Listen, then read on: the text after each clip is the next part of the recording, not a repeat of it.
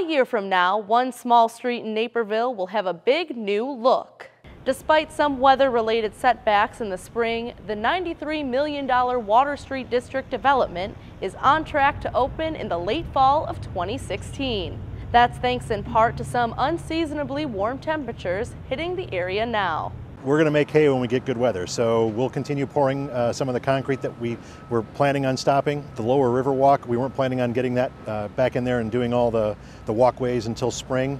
If we keep on getting weather like this, we'll, we'll, we'll uh, we'll hit it when we can over the, over the winter. Leases are already in place for businesses coming to the district, like the 158-room Hotel Indigo, retail store and play space Traveling Tots, and several restaurants. Plans are also in place to feature artwork from Century Walk along the new River Walk at the base of the development.